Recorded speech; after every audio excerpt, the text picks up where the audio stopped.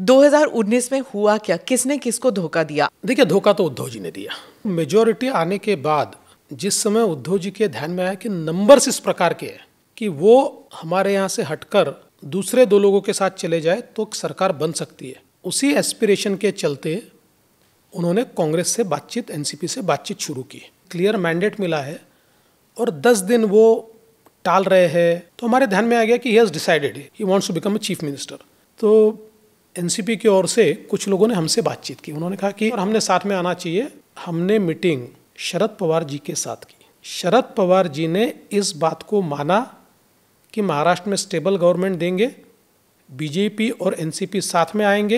And one fine morning, Pawar साहब पीछे हट गए। उस समय अजित पवार ने कहा कि इतने आगे जाने के बाद मैं वापस नहीं आ सकता हूँ। ऑपोजिशन यूनिटी की जब बात चल रही थी तो शरद पवार जी थोड़ा godfather kind of a role में थे। लेकिन अब उनके स्वास्थ्य के कारण वो थोड़ा बैक सीट ले रहे हैं। तो एनसीपी का क्या वजूद है उस यूनिटी में? आप शायद शरद पवार जी को जानते नहीं है। अपोजिशन यूनिटी को ड्राइव करने वाले पवार साहब ही है।